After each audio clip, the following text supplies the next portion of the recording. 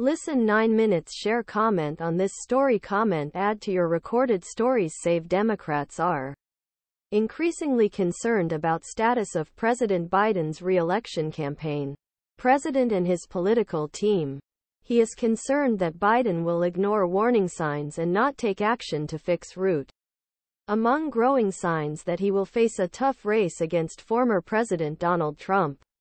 The latest fuel for these concerns came with great noise.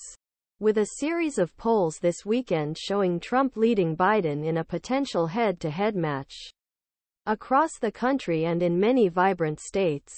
This story is based on interviews with Biden's dozen assistants and allies. Most of them speak with anonymity to discuss private talks.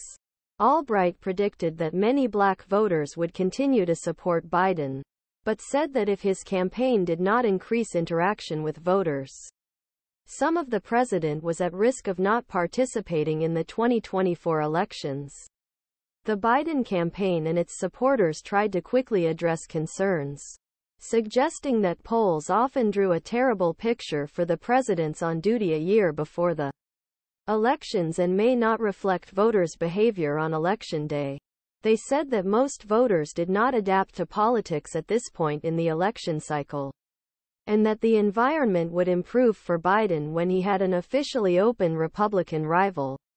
Biden's campaign officials expect opponent to be Trump, who has a long list of political weaknesses, including the role of accused in various criminal cases. After more than year, the predictions tend to look little different after year said Biden campaign spokesman Kevin Munoz. And the polls were President Barack Obama's 2012 and Democrats in Congress 2012. He also stated that he predicted loss 2022, but to see that they performed well a year later.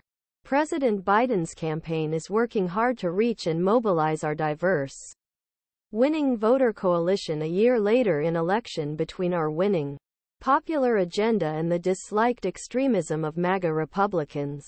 Munoz said said, in 2024, we will win by not worrying about the polls, but by leaning our heads forward.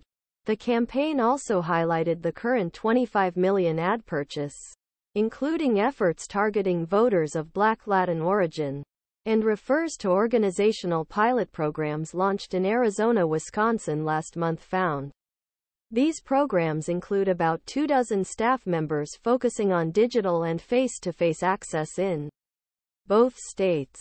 The closest assistants to Biden in the campaign largely rejected the weekend surveys and did not signal a serious concern about their strategy.